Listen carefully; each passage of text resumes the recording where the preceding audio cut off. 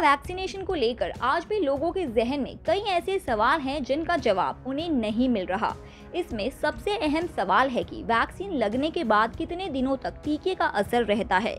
आइए एक्सपर्ट से जानते हैं इसका जवाब। तो एक्सपर्ट्स के मुताबिक कोरोना महामारी से बचने के लिए वैक्सीन सबसे बेहतर विकल्प है। यह आपके इम्यून सिस्टम को स्ट्रॉन्ग बनाता है, जिससे बीमार होने का खतरा कम हो जाता है। हालाँकि इसका असर हमेशा के लिए नहीं, बल्कि कुछ निश्चित अवधि तक ही रहता है। अमेरिकी center for diseases control and prevention ने 4000 स्वास्थ्य कर्मियों और फ्रंटलाइन वर्कर्स पर वैक्सीनेशन की बात स्टडी की है। इसमें पाया गया है कि फाइजर बायोटेक की वैक्सीन छह महीने तक लोगों को वायरस से बचा सकती है, जबकि अन्य कुछ वैक्सीन का असर छह महीने से साल भर तक माना जा रहा है।